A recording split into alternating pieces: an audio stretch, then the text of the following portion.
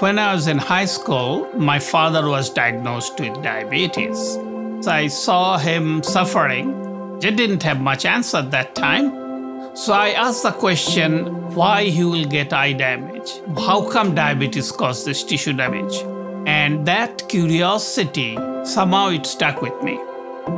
Diabetes causes tissue damage, and that is the major problem of diabetes. Diabetic retinopathy, it's an eye condition. Over years, a diabetic patient developed diabetic retinopathy, and there are various stages. Ultimately, diabetic retinopathy leads to blindness. Our focus is trying to understand how diabetes causes this tissue damage. If we can understand that, we can develop better treatment.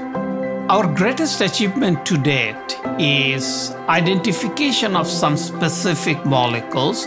These are RNA molecules. These RNA molecules can control some of the aspect of cell damage in diabetic retinopathy we believe they can be used for diagnosis or also for treatment. The knowledge has become so vast. To take it to the next level, you need collaboration.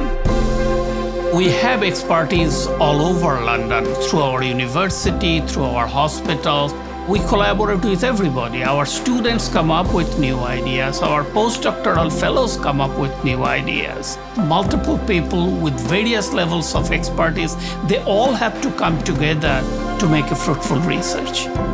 Every little bit of knowledge has value. Our understanding is getting better. If we can develop early detection and early treatment, then you can reduce the impact on the individual, their family, and the society.